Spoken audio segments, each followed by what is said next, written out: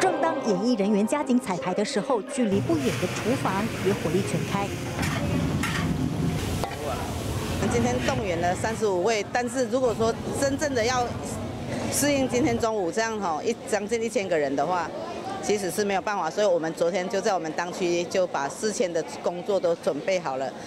事前准备很重要，事后检讨也要做。各功能组的干部一早就开会，发现座位安排和人潮引导还有改善的空间。先来的，我们先让他把二楼先补满，下午场也好，他可能是晚上来漂亮的，可以节省花椅子摆放的位置也是根据前一天的经验再做修正。先把空间留住，那会重坐下去的时候，它就不会再移动。那这样我们整个那个位置，我们这样摄影起来才会整齐。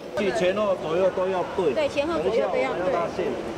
为了发挥哈这个冷气它的效果呢，那我们就在四周也增加一些风扇。